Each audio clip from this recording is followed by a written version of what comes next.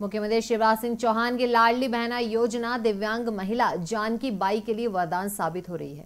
जानकी बाई को आज तक किसी भी योजना का लाभ नहीं मिला था, लेकिन लाडली बहना योजना का लाभ मिलने से जानकी बाई के चेहरे पर खुशी का ठिकाना नहीं है। डिंडोरी के देवरा गाँव में रहने वाली दिव्यांग महिला जानकी बाई के खाते में मुख्यमंत्री लाडली बहना योजना से एक हज़ार रुपए पहुँचे तो जानकी की खुशी का ठिकाना न रहा। वहीं जब सीएम शिवराज सिंह चौहान को जानकी के बारे में पता चला तो वो भावुक हो गए। उन्होंने कहा कि लाडली बहना योजना से जानकी का आत्मविश्वास बढ़ा है।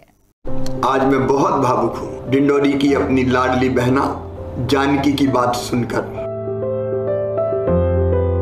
लड़का बच्चन के पढ़ाएँगे, लिखाएँगे, पुस्तक कापी लेंगे, पेन कापी सब तो खवाएँगे पियाएँगे नहीं मांगेंगे दोबारा।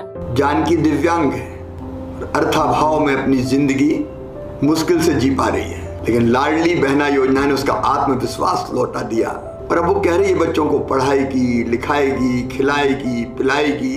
एक नए आत्मविश्वास से भर गई जानकी और इसीलिए तो हमने तय किया कि ये एक हज़ार रुपये तक सीमित नहीं रहेगी योजना। इसको धीरे धीरे तीन हज़ार रुपये तक ले जाएँगे। बहुत कठिनाई से ज़िंदगी गुजार रही प्रिय लाडली बहना जानकी को हमने आवास भी स्वीकृत कर दिया। अब पचास हज़ार रुपये की राशि भी उसके खाते में पहुंचाई है। जियो लाडली बहना, भाई तुम्हारे साथ।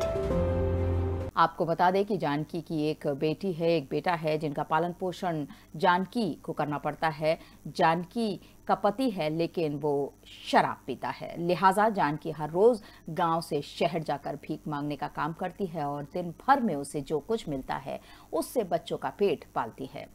लेकिन हैरत की बात यह है कि जानकी के पास रहने के लिए खुद का मकान तक नहीं है। उसे रहने के लिए उसके भाई ने एक झोपड़ी ज़रूर बना दी है। इस दौरान कलेक्टर विकास मिश्रा को जानकी की हालत का जब पता चला तो वो फ़ौरन उसके घर पहुँच गए। उसका हाल जाना, वहीं कलेक्टर ने जानकी को पचास हज़ार रुपए का चेक देकर आर्थिक मदद की। साथ ही जानकी बाई को तत्काल प्रधानमंत्री आवास योजना का लाभ देने के लिए अधिकारियों को निर्देशित किया। जानकी को पहली बार किसी सरकारी योजना का लाभ मिला है, जिससे जानकी बेहद खुश है और वो इस राशि से अपने बच्चों को पढ़ाने की बात कर रही है। ये इसको जो मिला है उसमें एक हज़ार मिलेगा। तो लड़का बच्चन के पढ़ाएँगे लिखाएँगे पुस्तक कापी लेंगे। इसके बाद इसके बाद भीख नहीं मांगेंगे। मुख्यमंत्री अच्छी हमारे लिए करी हुई। वहीं भाजपा जिला अध्यक्ष अवध राज बिलैया ने भी मुख्यमंत्री लाडली बहना योजना को सार्थक बताते हुए कहा कि मुख्यमंत्री लाडली बहना योजना जरूरतमंद बहनों के लिए इसी तरह कारगर साबित होगी। वो खबरें जो आपके काम की है। वो खबरें जो आपके लिए ज़रूरी है। हर आम और खास से जुड़े मसले। हर मसले का सटीक विश्लेषण। हम करते हैं सत्य का अन्वेषण। दखल न्यूज़। आपके हक में।